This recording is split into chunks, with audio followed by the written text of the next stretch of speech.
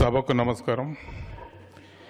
K. Gopinath అనే నేను భారత పార్లమెంట్ లోక్సభ సభ్యునిగా ఎన్నికైనందున శాసన ద్వారా నిర్మితమైన భారత రాజ్యాంగం పట్ల నిజమైన విశ్వాసము విధేయత చూపుతానని భారతదేశ సార్వభౌధాధికారాన్ని సమగ్రతను కాపాడుతానని నేను స్వీకరించబో కర్తవ్యాన్ని శ్రద్ధా శక్తులతో నిర్వహిస్తానని దైవ సాక్షిగా ప్రమాణం చేస్తున్నాను నండ్రి వనకం జై తమిళనాడు